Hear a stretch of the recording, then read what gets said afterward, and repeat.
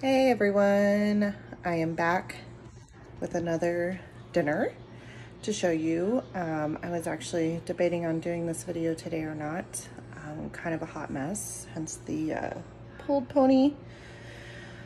Um, and I was like, I don't know if I want to do this video, but this is one of my favorite meals to cook. It is a little bit time consuming, but it's um, turns out really, really good. So let me get started and I'll take you along the ride. All right, so today we are making stuffed bell peppers and I'm gonna boil up some corn in butter and milk. Um, so I'm starting to core out the bell peppers. The recipe calls for six, but I'm only doing five this time. Um, a lot of times when I find a recipe, I kind of tweak it and make it my own a little bit. So I'll kind of take you along the way on this recipe.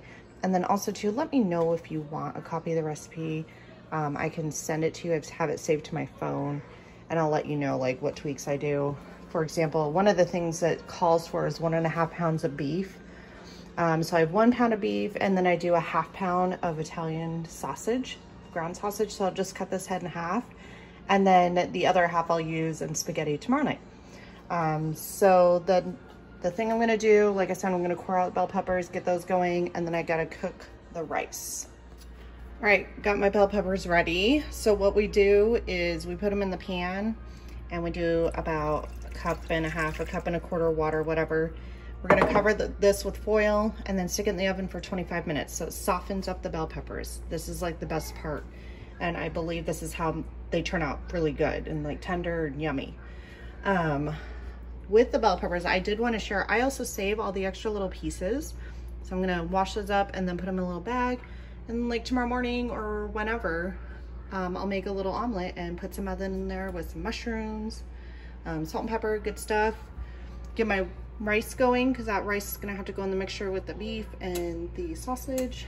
And then I got my corn in the pot here. I'm gonna pour, I don't even know how much. I just dump a bunch of milk in there, put, you know, several tablespoons of butter, and then just let that boil away for a little bit. Um, so I'm gonna get my big pan out because I'm gonna do the sausage soon. Getting the oven preheated. The oven goes to 350 for the initial um, softening of the peppers.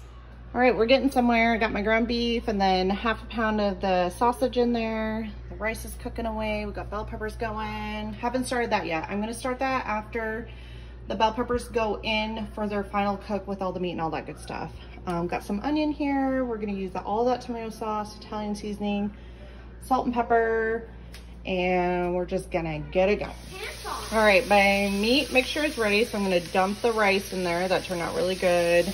We're gonna put the tomato sauce in there, about a half a teaspoon Italian seasoning, and then a half a cup of shredded mozzarella cheese. You're also gonna put a little bit of cheese on top of the bell peppers when right before they go in the oven. Just a little bit for the little one.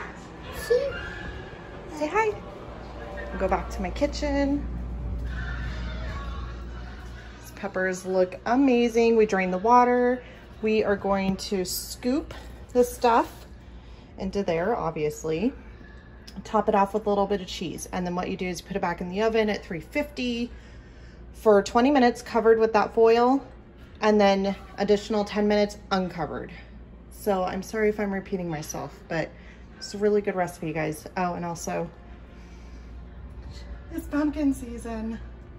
Just kidding, it's a pumpkin porter. I really like this one and I saw it and I had to grab it. So there's my beer with my meal. All right, guys, finished product. Looks delicious. I don't like the green ones because they mess up my tummy a little bit. So I might go for one of those yellow orange ones. And then here's the corn. Mm -mm -mm. Looks delicious.